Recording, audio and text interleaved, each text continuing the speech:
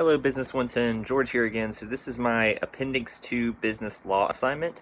So the breach of contract case that I chose was a case that happened back in 2014. It was Nike, the uh, athletic company, suing three of its designers for a breach of contract. Just tell you a little bit about it.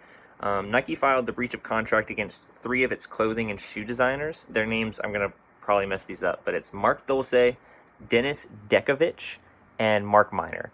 So Nike was suing them for $10 million for breach of contract, uh, specifically their non-competing clause that was in their contract.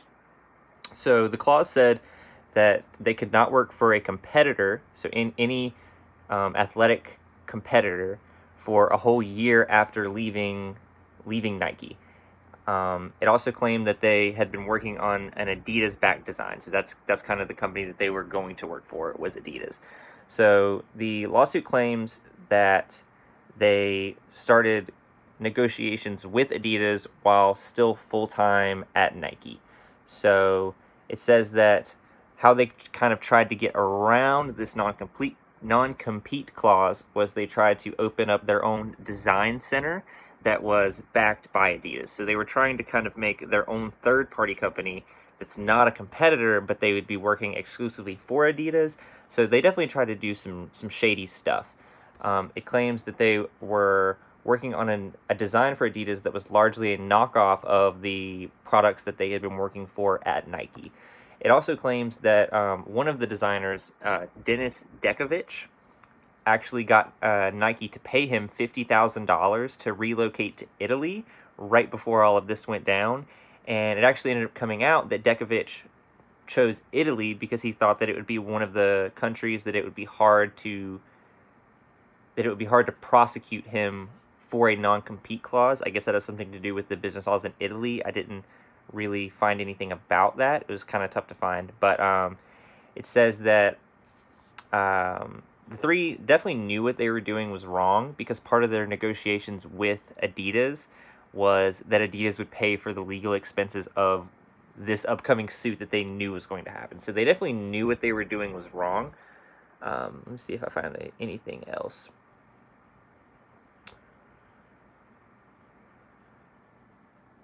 All right, yeah. So um, th- that seems to be pretty much it. So just like I said, they they were designers for Nike decided while they were still working for Nike that they were going to try to leave and work for Adidas, possibly to make more money. They tried to open that design center that I talked about to try to evade the non-competition clause.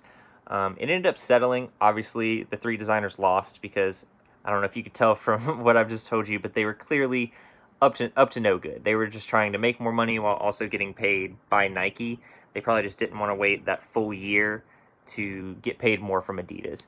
So the settlement amount was actually not disclosed by either Nike or Adidas, um, but it's assumed that it was it was a substantial amount of money, and they don't. Nobody thinks it was the full ten million dollars, but they definitely think it was several million, as well as all of the designers had to fork over any designs that they had been working on for Nike. So just to make sure that they didn't lose any intellectual property. Um, one statement that the attorney for Nike made was just that, that was just that they will work vigorously no matter what, to protect any of their intellectual and design property. So um, definitely the designers were in the wrong here, and I think that the case went about as good as you can. Um, a lot of companies actually do non-competition clauses. Even um, I don't know if you guys watched my the the other video for this week, but I work at a doggy daycare, and I even have a non-competition clause in my um, contract saying that I can't work, I can't leave and directly go to another um, daycare um, doggy boarding facility. So it's definitely a common thing um, in business contracts just to prevent people from using a position at one company to leverage into a higher paying position at the other. It's just to try to keep their workers there um, and not get duped into a $10 million lawsuit. So, um, yeah, that's pretty much the whole case. And yeah.